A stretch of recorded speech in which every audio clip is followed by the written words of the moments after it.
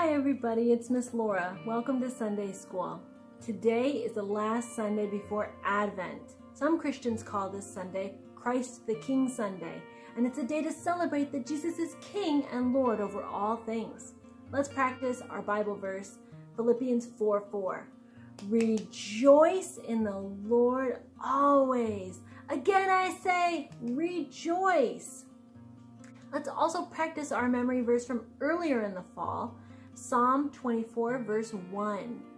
The earth is the Lord's and all that is in it, the world and those who live in it.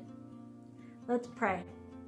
Lord Jesus, we thank you for your love for us and your presence with us always. Thank you for the Bible story we're going to learn about today. Amen.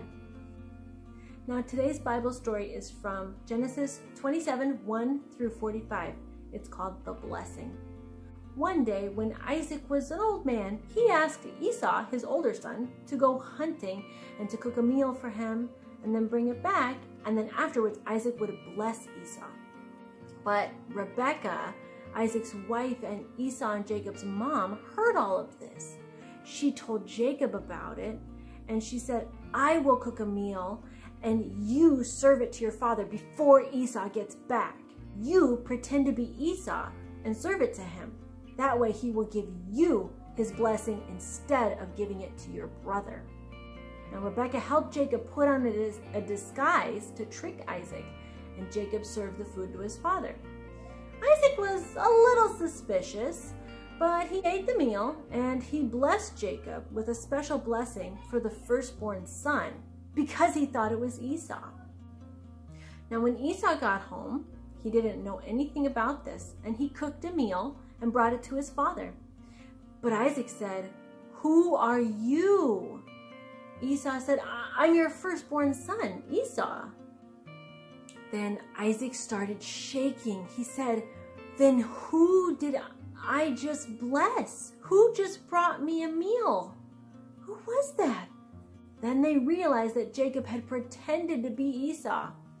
Esau said, Jacob has tricked me twice. First, he took away my birthright, my special place as the firstborn son, and look, now he's taken away my blessing. Esau was so angry with his brother that Rebekah had to send Jacob away to live with her brother Laban. Now, I wonder, last week we heard about how Jacob made Esau pay for a meal with his birthright. So Jacob would get the special privileges of being the firstborn son instead of Esau. I wonder, is this why Rebekah helped Jacob trick Esau? I wonder, what do you think about the way Jacob treated his brother? What would you have done if you were Jacob? I wonder, why was Isaac's blessing so important to Jacob and Esau? Have you ever been blessed?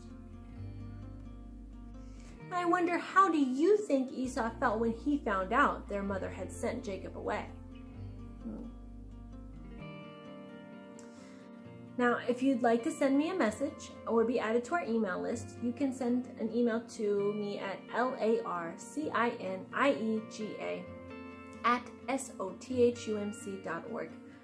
You can also send confidential prayer requests through our Family Ministries Google form. The link is below in the video description. I'd love to hear from you. Now let's close with our closing prayer from Sunday School. May the grace of our Lord Jesus Christ and the love of God and the fellowship of the Holy Spirit be with us all now and forever. Amen.